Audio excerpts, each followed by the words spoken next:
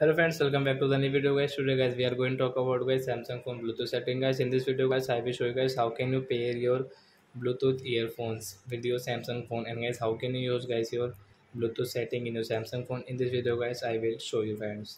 So guys i have got this ubon company earphones and guys i want to pair with my samsung phone. So guys how can i pair? So first of all guys i will on phone setting and guys i will click on guys this connection settings then guys I you can see guys this your Bluetooth setting. So friends tap here. I will on it. And guys I will on my earphones. So guys you will on it? And guys you should also on it. And guys you can see this volume button guys up and down button. And guys you can see guys this type of network. So guys which earphones network guys you have? Means you have i have got this ubonc l20 i will tap here to pair. Then guys you can see it's pairing.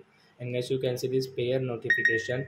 Pair with ubonc l20 bluetooth pairing request so you want to pair. Yes we want to pair. So we will tap here to pair. It will pair and guys you can use it while watching movies listening song like that guys you can use it. So i friends you have understood how to pair bluetooth earphones to our samsung phone device? So that's it guys. Thanks for watching. Bye